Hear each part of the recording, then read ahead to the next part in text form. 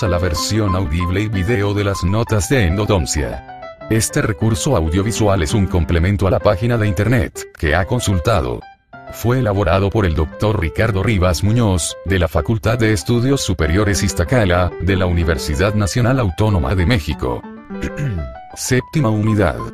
Patología pulpar. El tema que voy a leer es, dentro de la inflamación pulpar, la reacción inflamatoria aguda. El romano Celso, fue el primero en describir los signos clásicos de la inflamación aguda, o signos cardinales, o de Celso. Rubor, calor, dolor y tumor. Galeno, un médico griego, añadió un quinto síntoma, la función lesa, o pérdida de la función, aunque sería más correcto interpretarla como perturbación, más que pérdida, ya que muchos tejidos inflamados son hiperactivos. Rubor. El aspecto rojizo de una parte inflamada, es debido a un incremento del aporte de sangre, consiguiente a la dilatación vascular. Calor. Se debe al aumento del suministro sanguíneo, y también, posiblemente, a un incremento de la actividad metabólica en la zona afectada. Dolor.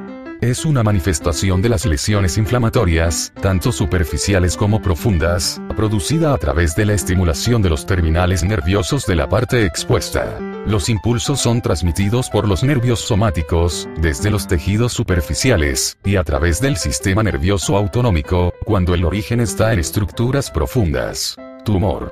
La hinchazón de una zona inflamada es debida al incremento de vascularidad y a la acumulación de líquido en la parte dañada. Función lesa.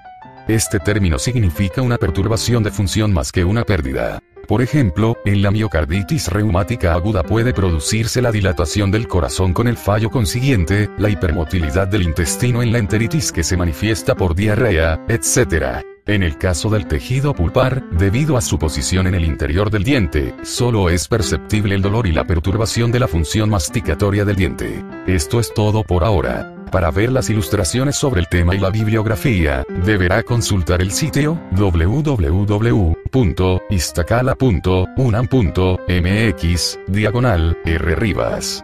Pero si lo que desea, es seguir adelante, pase a la siguiente página electrónica y seguirá escuchando y viendo esta versión audiovisual de las notas de endodoncia.